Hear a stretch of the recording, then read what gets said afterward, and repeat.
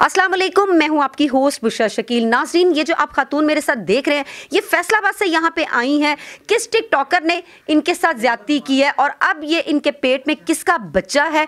वो बच्चा जो ये किसी देना चाहते हैं, ये खुद रखना नहीं चाहती। लेकिन एक चीज़ मैं आपको बताऊँ कि वो टिकटॉकर बहुत नामी ग्रामी है, हम उसका नाम नहीं लेंगे, क्योंकि इन्होंने कहा कि मुझे बहुत सारे मसले मसाइल हो जाएँगे।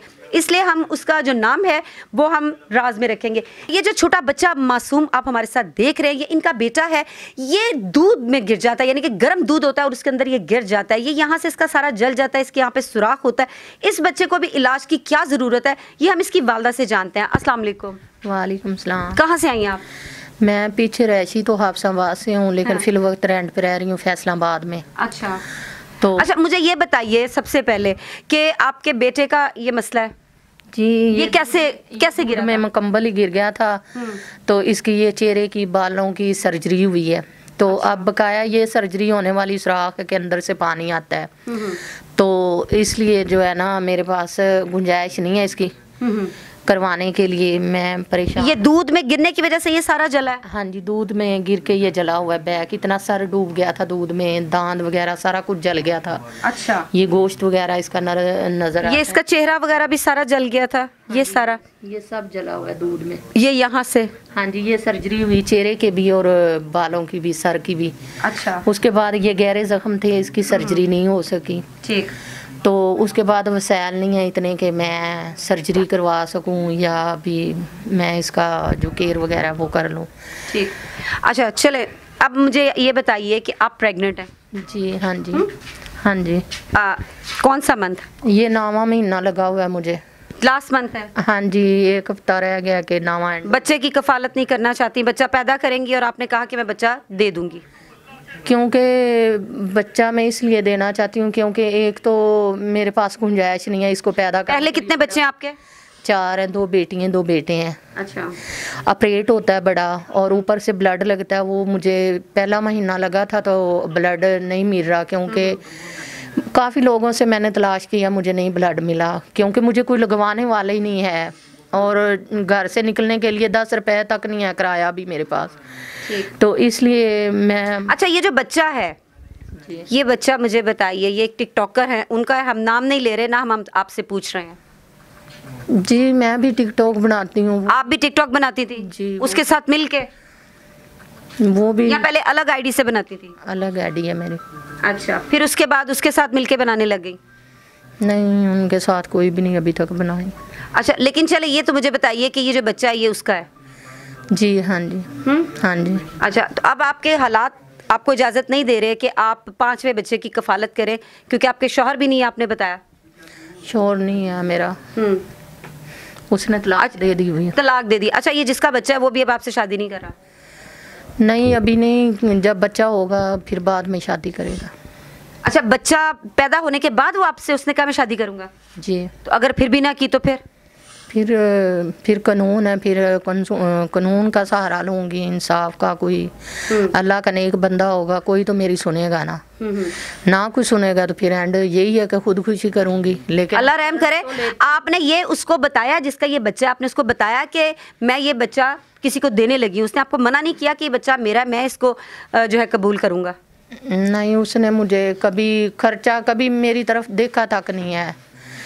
मैं खुद ही अपने बच्चों पे, सर पे रह रही हूँ, यानी कि वो कमाते हैं, मैं महीने का खा लेती हूँ, जो भी मेडिसिन वगैरह, कोई भी ऐसा है ना मेरा अखलाजात, मैं खुद ही सपोर्ट कर रही हूँ, वो नहीं मेरी करते।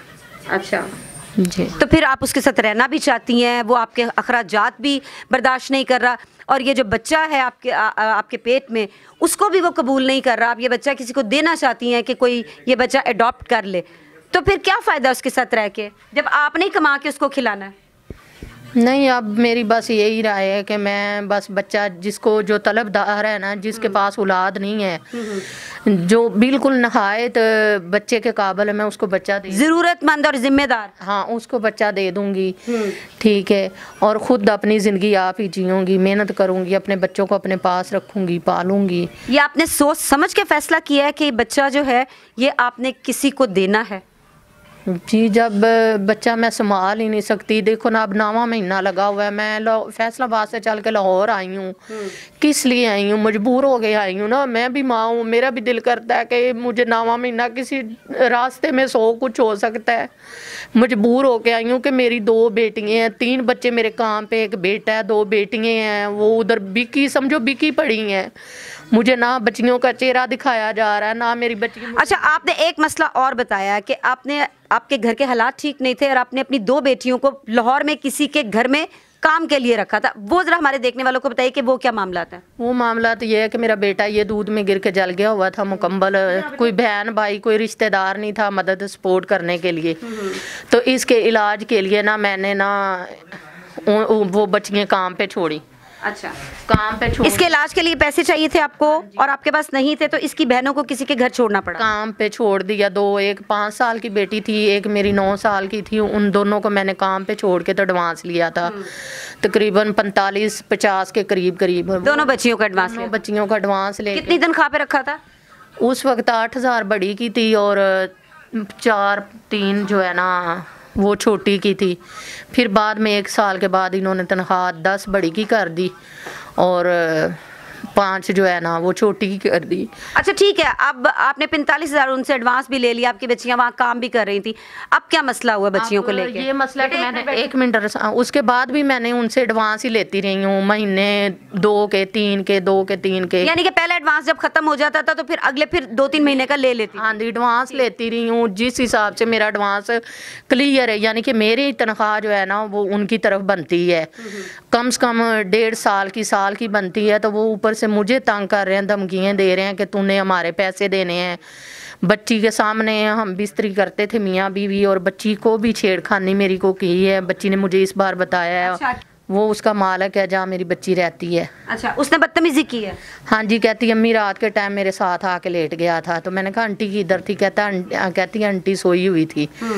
तो कहती फिर मैं मुझे कहता है तुम शोर ना करना। फिर उसके बाद मेरे साथ गलत हरकतें करता है।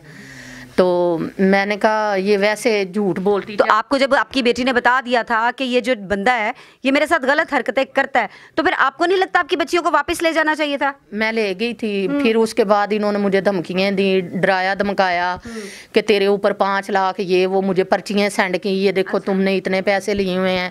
तो उन्होंने आपको कहा कि पाँच लाख रुपया आपको दिया हुआ है बच्चियों के एवज हाँ जी मैंने कहा इतने सालों जो आप एडवांस लेते हाँ मैंने कहा आपने अकाउंट पे दिए हैं ना वो साबित हो जाएगा। आप अकाउंट से लोकेशन निकालें जितने भी होंगे अगर मैं देनेदार हूँ तो मैं दूँगी अगर आपने देने आप लोकेशन नहीं डिटेल्स मतलब निकलवाएँ कि कितने पैसे आपके अकाउंट में आई हैं। जितने भी आए हैं ना तेरे नाम से आए हैं सलामत के नाम से। तो आप मुझे बताएँ कहते गाली दी इतने बुरा भला बोला करके फिर मुझे कहते तेरे ऊपर कंप्लेंट किसी बंदे ने मुझे फ़ोन किया। मैं थानेदार बोल रहा हूँ फलाने झूठी कंप्लेन करने की कोशिश की उन्होंने। हाँ भी फलाने थाने से बात कर रहा हूँ तो तेरे ऊपर कंप्लेंट है तेरी बेटी सोने की अंगूठी ये वो आगे पीछे चोरी।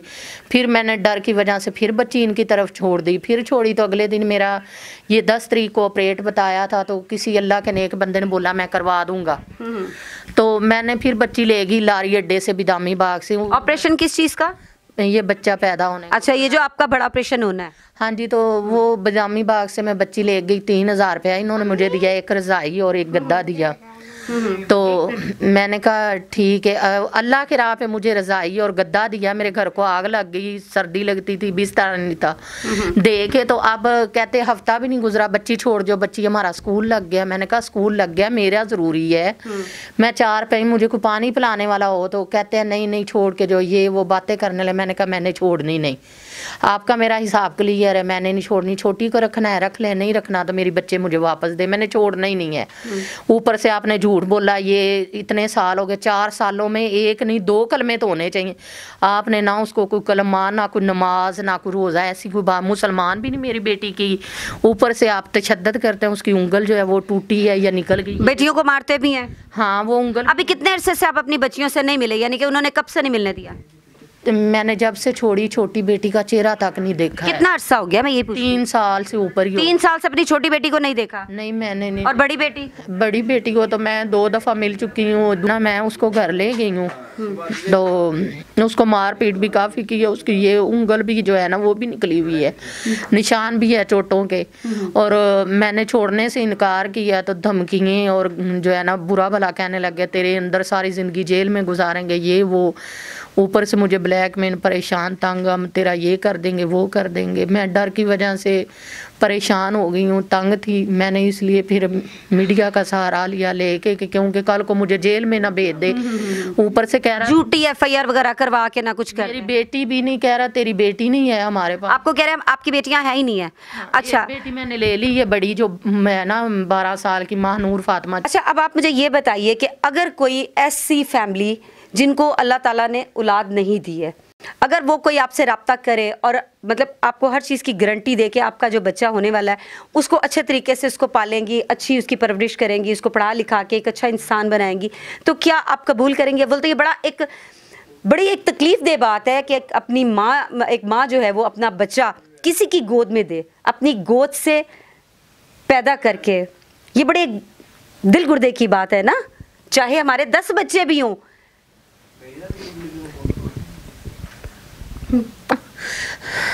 पहली बात तो ये है कि मेरा दिल डरता है जब मैं नाम लेती हूँ कि मैं अपना बच्चा किसी को दूँ। मैं मजबूर हो के कहती हूँ कि मेरा कोई इलाज करवाए या मेरा ऑपरेट करवाए या बच्चे को दुनिया में लाए। इसके लिए मेरे पास सोना चांदी होता, जेवर होता तो वो मैं बेच के भी मैं अपने बच्चे को दुनिया में ला सकती ठीक है? अच्छा अगर कोई आपका ऑपरेशन करवा दे हाँ। अगर बड़े ऑपरेशन से होता है ना सिजेरियन से तो अगर कोई आपका ऑपरेशन करवा दे तो फिर भी आप अपना बच्चा किसी को देंगी? नहीं फिर नहीं मैं दूँगी फिर तो मैं उसका बाल भी नहीं दूँगी। बस इसके अभी आप सिर्फ़ बच्चा इसलिए देना चाह रही हैं कि आपके पास ऑपरेशन के पैसे नहीं है? नहीं है इसलिए कितना खर्चा ऑपरेशन पे? ये पचास हज़ार उन्होंने बताया था कि लेबर रूम में लाने का। अच्छा। तो फिर दवाइयों द्वारा को पचास साठ हज़ार लग जाता है। जी नाजीन, देखें, ये खातून के चार बच्चे पहले हैं। एक बेटा ये है जिसको, जिसके ऊपर गर्म दूध गिरा और ये जल गया। अभी तक इसका इलाज करवा रही हैं और ये कहती हैं कि इसके पैसे भी मेरे पास नहीं है कि मैं इस बच्चे का इलाज करवा सकूँ।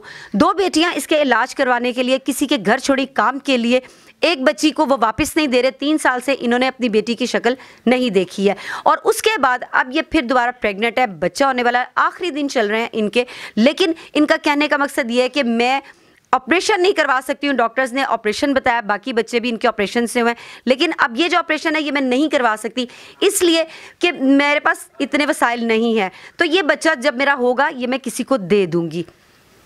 तो नाजरीन, एक माँ के लिए ये एक बड़ी, कह लें कि दिल को चीरने वाली बात है कि एक माँ कहे कि मेरे पास इसको पालने के लिए पैसे नहीं है या इसको पैदा करने के लिए मेरे पास पैसे नहीं है।